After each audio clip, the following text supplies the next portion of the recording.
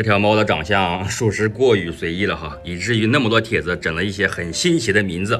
那些说没看够的帖子嘛，后期有的看。但今天的主角不是它，是即将来到这个缸里面的一对新宠。前段时间我被一位博主的这条视频给种草了，太飘逸了，宛如水中仙子了。我这个人吧，要是看到什么喜欢的东西，他就会一直惦记着、惦记着、惦记着。要是在能力范围之内，那他不就来了吗？活鱼。那不必须是活的。这个人吧，千万别掉入鱼坑，否则你会发现你的人生中多了三大乐事儿：开缸、买鱼、瞎折腾。而且呢，你会发现整天在家地不拖碗不洗的人，那家伙刷缸、换水、洗棉，整天忙的一个叫不亦乐乎。总结一点吧，这个男人买鱼就和女人买包是一样一样的，包治百病，养鱼养心。根据数据显示，现在养鱼的人是越来越多，而且不分男女老少。说到底就俩字，热爱。就像这个蝴蝶鲤，我是确实喜欢，打心底的喜欢。好像有人把蝴蝶鲤誉为水中仙子，那到我这里它就不能光水中仙子了，是吧？王子也得给它整来，整一对都活的。透过袋子应该可以看得出来，两条鱼应该没有多大问题。昨天发，今天到，速度很快。其中有一条鱼好像带了胎记，还先过温，泡袋过温，然后过水入缸。再让大家欣赏它的美。抽这个空，咱们来喂一下这个独角加地包天。很多帖子管它叫兔唇猫，啊，兔唇都形容不了它，兔唇吐的太严重了。放点泥鳅段哈，之前给它放的那个螃皮，你们都说它抓不到，我现在给它放点泥鳅段。你们谁给我缸里窜稀了？瞅这缸里造呀！银龙吃，黄猫不吃。这玩意状态还是不行，很多帖子都说了，他说这个畸形猫很难养活，怎么说呢？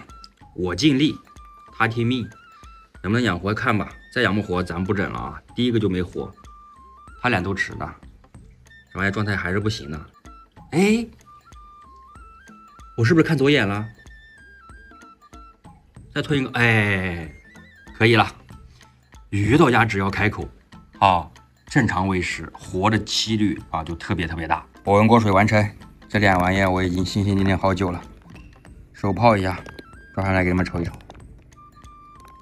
轻一点哈。这小肥肚子，漂亮。来，先入一个缸，走了。这到缸里就是不一样啊，袋子里面有点灰暗，到缸里面都是亮白亮白的。这个就是我说的。从袋子外面看，好像带了胎记呀，这个头有印记的。哦，这个这个肚子还要肥，好像。走了。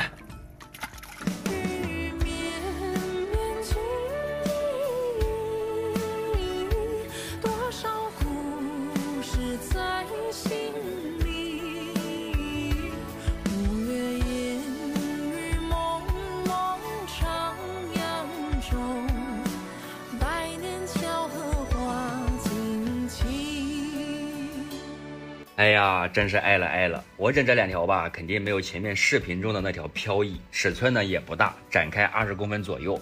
第一次养这个蝴蝶鲤，也不知道这两条的品相能不能符合铁子们的审美标准。